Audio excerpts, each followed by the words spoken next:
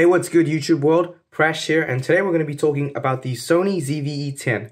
Now I gotta say, the Sony ZV-E10 combined with the 16 to 50 millimeter kit lens has honestly been a blast to go out and about and shoot with. I gotta say, this is actually shaping up to be my favorite compact video camera. And I've also used this in a pinch to shoot some really great photos as well. But one of the things I mentioned in my first impressions video was that the hand grip is actually a little small, or in other words, pretty much non-existent.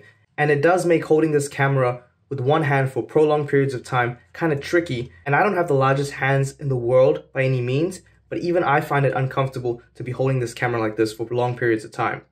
And so, after scouring the internet, I think I found a pretty decent solution, and that is the SmallRig cage plus the extended grip. Alright, so the SmallRig cage plus the grip is, well, pretty self-explanatory. It's pretty much just a cage with a really nice extended grip which does improve the ergonomics of this camera. So let me show you how I add this to my camera. And it's actually pretty simple. All you gotta do is pretty much just slide the camera like so.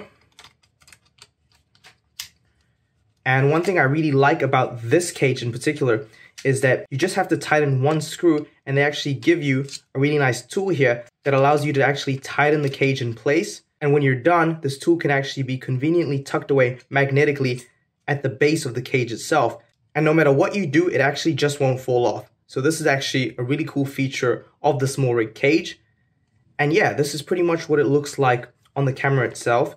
And I gotta say, it really does add a little character to this camera.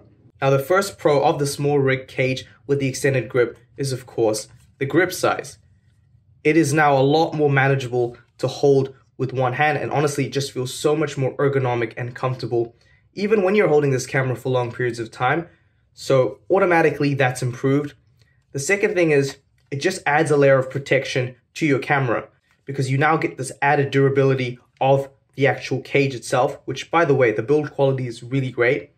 And the last reason I would really recommend buying this cage for your Sony ZV-E10 is the fact that you get a lot more mounting points along the top and the side of the camera.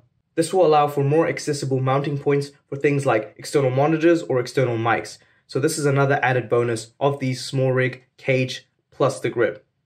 Now many people online will tell you to just get the cage, but I really think it is worth paying a little extra for the extended grip as well, because like I said, it just makes holding this camera for long periods of time that much better.